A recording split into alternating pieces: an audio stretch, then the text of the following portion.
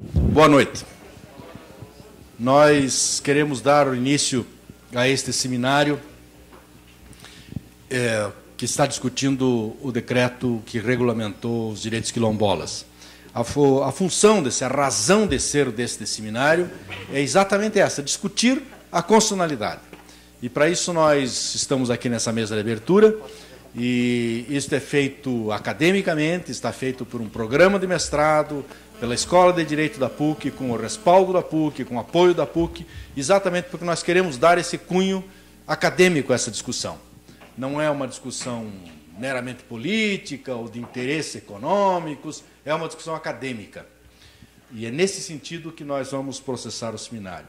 Eu agradeço imensamente a presença, que é nesta abertura, do professor Alfredo Nix, que é nosso, Alvacir Alfredo Nix, que é nosso decano. Ele é o diretor da Escola de Direito e que tem nos dado um grande apoio nessas discussões, nessas, nos seminários e, e um grande, se não, se não fosse a força que ele nos dá, o programa, nosso programa de mestrado doutorado provavelmente não teria essa grandeza, essa profundidade de estudos, etc. Então, aqui de público, já agradeço ao professor Nix todo esse apoio que está nos dando.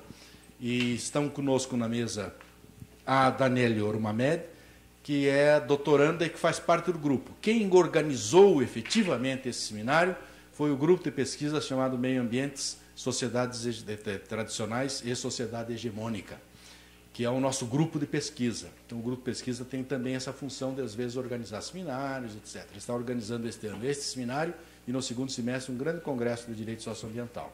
Então, ela está aqui representando o grupo e representa também o grupo, o Oriel, que todos vocês conhecem. O Oriel é nosso aluno da graduação, mas membro integrante do grupo de estudos e do grupo, nosso grupo de pesquisa.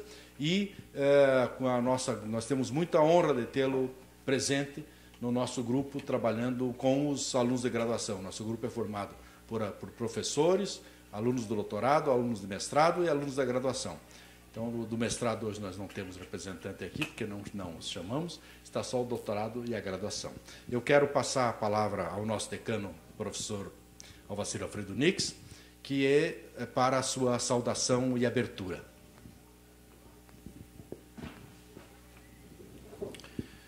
Eu quero inicialmente parabenizar a todos vocês que encontram-se aqui neste momento. Quero saudar ao professor Marés, Carlos Federico Marés de Souza Filho, nosso colega, pelo seu entusiasmo sempre por temas palpitantes que dizem respeito a questões de segmentos, na verdade, da sociedade, que se faz necessário para os aspectos de um debate amplo, absolutamente necessário no sentido de uma efetiva inclusão dentro da sociedade brasileira. Quero deixar aqui minha saudação a Daniela, representante dos discentes da nossa pós-graduação, e ao Oriel, que tive, inclusive, a oportunidade, neste momento, de conhecê-lo, e de que passo realmente a adotar um imenso respeito ao Oriel dentro da, deste número de alunos que nós temos no exercício da, do aprendizado no âmbito da nossa graduação.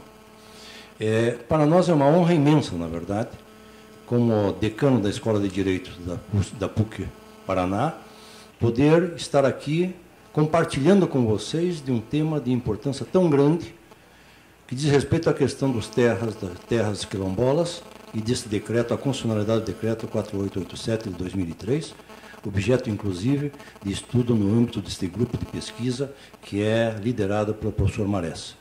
Isto é extremamente oportuno porque nos traz inicialmente os aspectos de uma efetiva investigação, nos traz um momento de reflexão e um momento de debate. De debate acadêmico, de debate jurídico, exatamente endereçado no sentido de que possamos ter, dentro da universidade, uma universidade aberta para termos dessa natureza.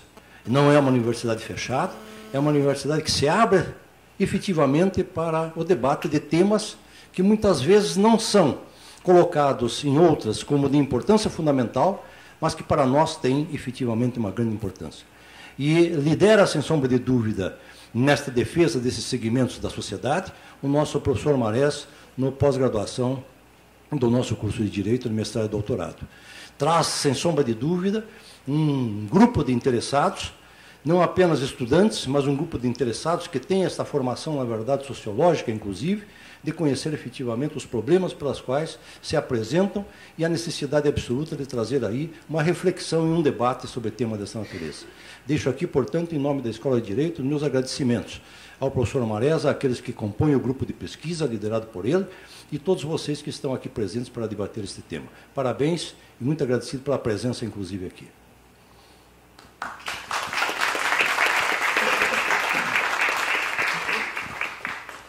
Ao contrário, professor Nix, nós é que agradecemos a sua sempre presença e a participação e apoio que nos dado no programa, no grupo de pesquisa e nas atividades e iniciativas que temos. Eu quero dizer que nós estamos tendo para realizar esse seminário é, apoio de outras entidades, muito especialmente da CONAC, que é a organização dos quilombolas, mas um apoio, essa, essa ideia surgiu de uma discussão com a Terra de Direitos que é uma organização que defende os direitos eh, sociais das, de, das diversas populações brasileiras. Então, a Terra Direito, que é uma organização que, com muito orgulho, a gente diz que é uma das organizações premiadas no mundo, né?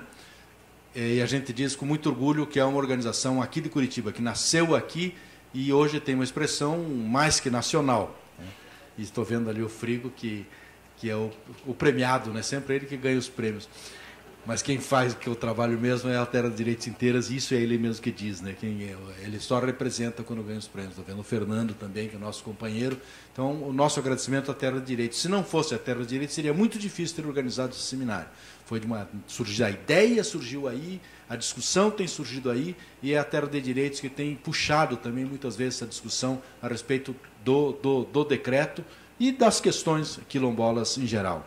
É, evidentemente, é, nós só fizemos essa, essa, esse seminário hoje porque, é, nas conversas com, com, os quilombolas, com a CONAC principalmente, fomos autorizados a fazê-lo. Afinal de contas, hoje é dia 13 de maio. Não é? um dia que a gente não tem muito o que celebrar, mas pelo menos tem que dizer que foi um dia 13 de maio que, uma, uma vez, há mais de um século atrás, é, o Estado brasileiro se lembrou da existência de que haviam escravos no Brasil e resolveu fazer uma lei dizendo uma, um óbvio, né, dizendo fica proibida a escravidão. Mas nós pensávamos que a escravidão estava proibida desde 1824, quando a Constituição disse que a liberdade era um direito. Mesmo a Constituição dizendo a liberdade é um direito, teve que vir uma lei dizendo que acabou com a escravidão, como se ela já não tivesse sido acabado com uma, com uma... E, curiosamente, essa mesma história, uma Constituição diz a liberdade é um direito e continua a escravidão, e precisa uma outra lei dizer que aboliu a escravidão, se está repetindo 100 anos depois. Reparem, a Constituição de 88 disse: as terras quilombolas são quilombolas. E hoje, vinte e tantos anos depois da Constituição, nós ainda estamos discutindo se vale um decreto que diz o que a Constituição diz. É uma coisa inusitada, é uma coisa impressionante. Lá levou 64 anos para que o Estado brasileiro fizesse uma lei dizendo acabou a escravidão. Ou seja, repetindo a Constituição com outras palavras. A escravidão é a ausência de liberdade. E se a liberdade era um direito, não podia ter escravidão, então está abolindo o que não devia ter. E agora, nós temos uma Constituição, o que é mais grave, professor Nix é um emérito professor de Direito Constitucional, aliás, foi o meu professor de Direito Constitucional, quase tudo que eu sei de Constitucional aprendi com ele, e esta Constituição é diferente das outras, né, professor Nix? Esta Constituição diz que é para ser aplicada. As outras ainda se dizia, é, talvez se aplique, pode ser, se der, aplica, se não der, não aplica. Esta foi feita para ser aplicada. E nós vamos fazer a conta 25 anos depois, a aplicação desse pequeno artigo que diz que os quilombolas têm direito às suas terras está subjúdice. O judiciário está vendo se é possível aplicar um decreto que aplica a Constituição. Então, essa discussão, essa discussão quase que insólita, uma discussão que repete um acontecimento do século XIX, só que agora repete de uma forma muito mais grave. Muito mais grave porque os tempos são outros os direitos são outros. Já não era mais possível a gente discutir uma nova lei áurea. Na lei áurea, no século XIX, ainda a gente podia até saudar, dizer assim, até que enfim, o último país a libertar seus escravos, o último país a fazer uma lei dizendo que ficava proibida a escravidão. Mas agora, no século XXI, nós discutirmos a mesma coisa e discutirmos ainda se estivéssemos discutindo uma lei que dissesse assim: serão reconhecidas as terras, as comunidades quilombolas, que as comunidades quilombolas vão dizer quais são. Que seria a lei justa.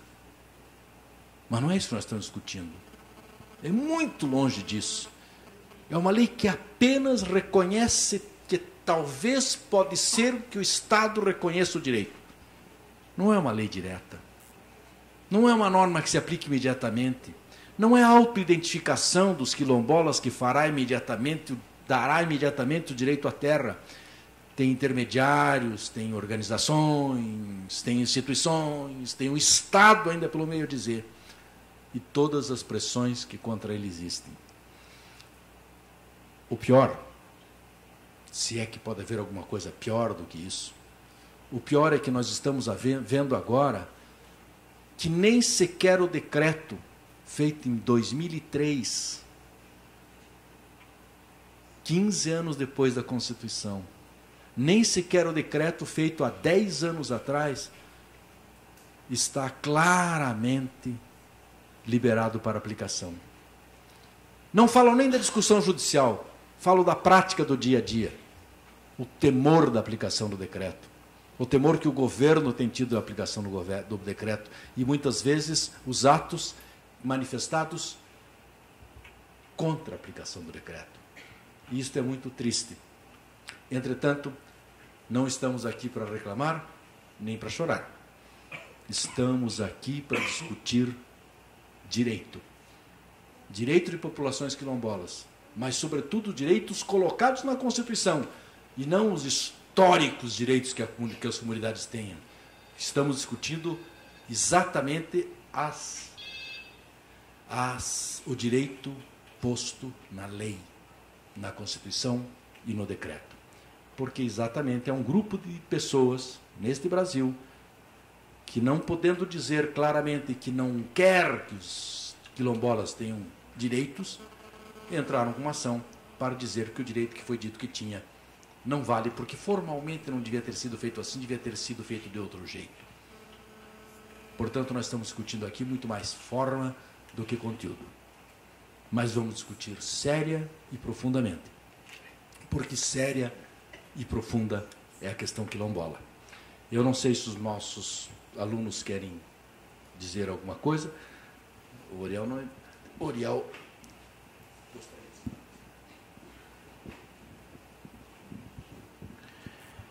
Boa noite aos parentes quilombola que estão presentes. E saúdo todos aí os companheiros acadêmicos, as pessoas do movimento. E aí todo mundo que se interessou em saber o que é esse tema, o que está se tratando disso. Até porque a gente não fez uma divulgação massiva, não botamos aí no, na televisão, né? Mas enfim. É, esse é um desafio, né? É, eu acho que a gente está de parabéns no sentido de a gente provocar esse tema, né? Provocar esse debate. Eu acho que é, é importante a gente discutir o que, que, é esse direito à propriedade, o direito de terra, o que, que é isso, o que, que é essa garantia que, que esses quilombos têm. E que lembrar que essa história de, da escravidão, hoje, essa história da abolição, tudo isso, né? A gente fala até que é uma falsa abolição, mas é a escravidão ainda tem ainda uma, uma marca, né? Marcou o povo negro. E quando essa marca ficou ainda gravada, a gente quer reverter essa situação de forma positiva. Então a gente está falando de discriminação positiva, de coisas diferentes para mostrar que a gente está.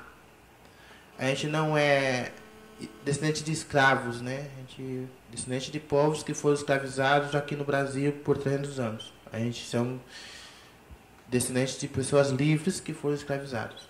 Então, é, essa é, é, é uma dívida que o Estado brasileiro tem com esse povo. Então, a gente não está falando nada mais do que o professor de constitucional sabe que o Estado brasileiro deve ao, ao, aos negros isso, né? é um dever de reparar, tem um dever de reparar a questão da escravidão e essa questão de, do direito de, de, de propriedade na Constituição é a primeira tímida reparação do Estado brasileiro 100 anos depois da abolição. Então, a primeira tímida reparação é que é o direito de propriedade para essas comunidades que não chega a 3 milhões de pessoas. Então, é, no universo de 200 milhões, é um mínimo pequeno, de, de, mas é um, é um, para nós é um grande ganho, porque é a primeira vez que o Estado repara que tem que ter direito de propriedade e repara isso. Então, o Estado está é, se dobrando para esse pensar. E, por outro, por outro lado, é aquele momento de sair da invisibilidade. Até então, se tratou isso muito como invisível, né? Queria, nunca se quis discutir a questão de quilombos, né?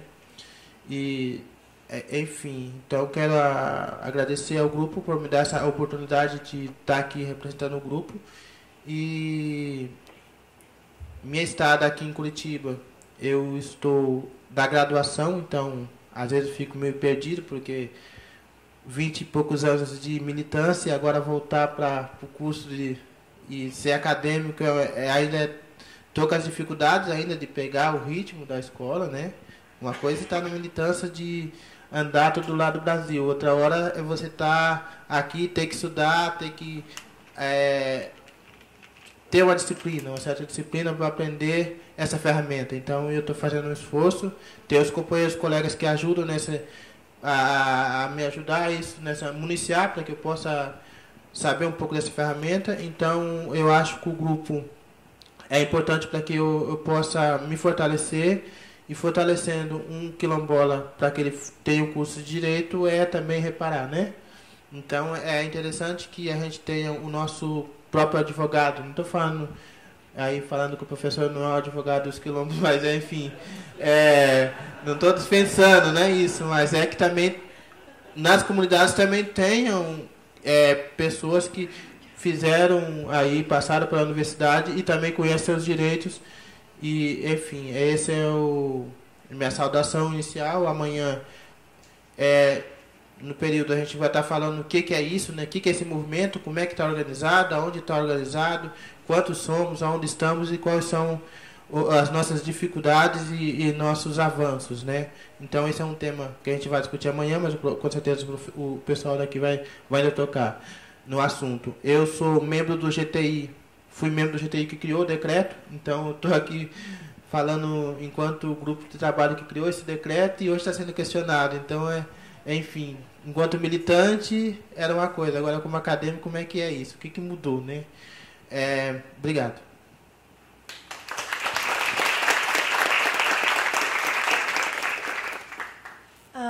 Boa noite a todos e a todas. Eu gostaria apenas de falar um pouco sobre o nosso grupo de pesquisa, convidar a quem tem interesse de participar das nossas reuniões.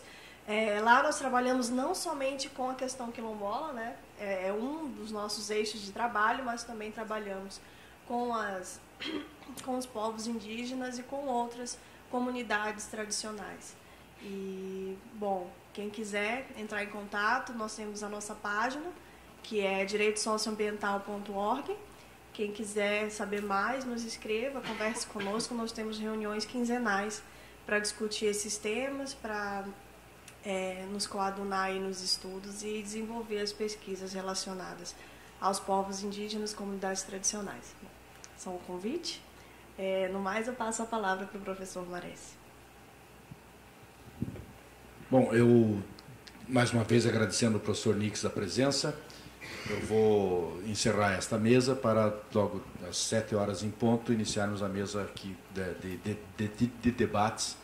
Não é? E, então, mas eu não sem antes dizer que eu esqueci do agradecimento à Ordem dos Advogados do Brasil, Seção do Paraná, que também fez um aporte, um apoio para que esta, esse seminário pudesse ser feito. Então, acho que eu já agradeci aqui a todos os participantes, né?